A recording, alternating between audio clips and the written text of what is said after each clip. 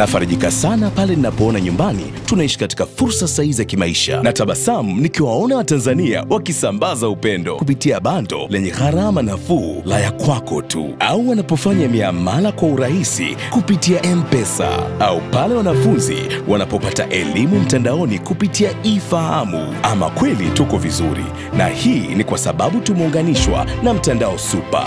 Huu ndio mtandao super wa Vodacom unaoboresha maisha yangu kwa zaidi ya miaka 20. Vodacom, pamoja tunaweza.